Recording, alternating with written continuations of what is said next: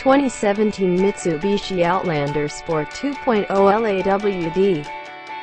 Despite sales numbers that are a fraction of what they used to be, Mitsubishi keeps trucking along in the United States, and we do mean trucking. With the Lancer sedan and the i-MiEV glorified golf car both gunners for 2018. The vast majority of light-duty Mitsubishi vehicles sold in the U.S will soon be a crossover called Outlander.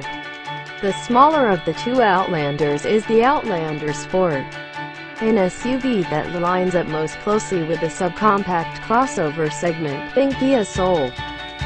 Honda HR-V, Jeep Renegade, introduced back in 2010.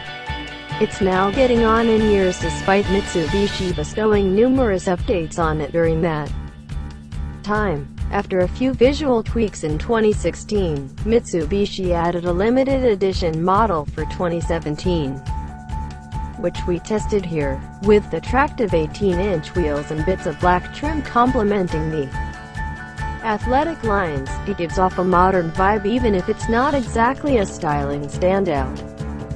Can't keep up. The Outlander Sports facelifts and special editions may keep its appearance fresh but they do nothing to address this Mitsubishi's woefully overmatched engine. The look comes with the smaller of the Outlander Sports 2 powertrains. A 2.0-liter inline-four with 148 horsepower and 145 pounds-feet of torque. A 168 HP 2.4-liter 4 is included on higher trim levels.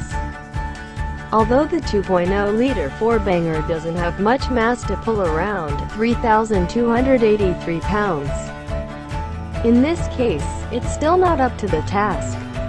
It takes 9.5 seconds to reach 60 miles per hour, and it's not a pleasant journey getting there. The engine is fuzzy and unrefined, while the continuously variable automatic feels several steps behind in responsiveness compared with other automakers' newest versions of this transmission type.